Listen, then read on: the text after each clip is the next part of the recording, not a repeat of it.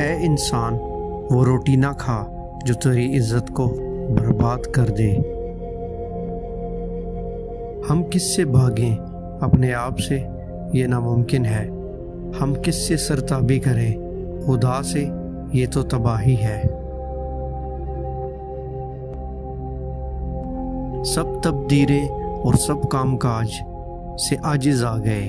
अल्लाह का काम और उसके अहकाम बाकी रह गए। कोई भी कोशिश और जदोजहद तवक्ल से ज़्यादा बेहतर नहीं। ख्वाब में सिक्के नज़र आए और फकीर को दरवाजे पर आता देखें तो समझ जाओ, बहुत जल्द तुम माला माल होने वाले हो। ए इंसान, तूने बाहर के दुश्मन को तो शिकस्त दे दी है, लेकिन जो दुश्मन तेरे अंदर बैठा है, यानी नफ्स बाकी बचा हुआ है। मर्द बन और इस नफ्स को भी शिकस्त दे। जिस बंदे को जुल्म के सिवा और कुछ काम नहीं आता, बहुत जल्द वो मजलूम की आह का शिकार बन जाएगा, जो उसे तबाह कर देगा।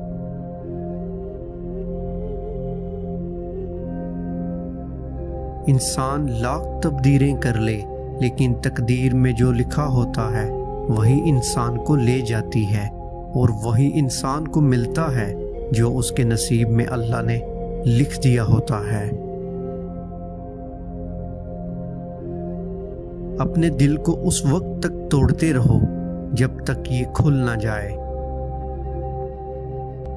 ऐ इंसान, अगर तुझे अल्लाह का रास्ता चाहिए तो आँखें खोल ले। इस गफलत भरी दुनिया से अलग हो जा और जाग जा। अपनी हस्ती को पहचान ले कि तू कौन है। लफ्ज तो सिर्फ़ बहाना होते हैं। ये अंदरूनी रिश्ते हैं जो एक बंदे को दूसरे बंदे की तरफ़ खींचते हैं। लफ्ज नहीं। अगरचा कुरान के अल्फाज लब रसूल सल्लल्लाहु अलैहि वसल्लम से अदा हुए हैं। लेकिन अगर कोई कहे कि ये कलाम हक नहीं तो वो काफिर है। लोगों को जांचने का काम तुमने संभाल लिया। हालाँकि अमाल तोलने वाला तराजू तो किसी और जगह पर है।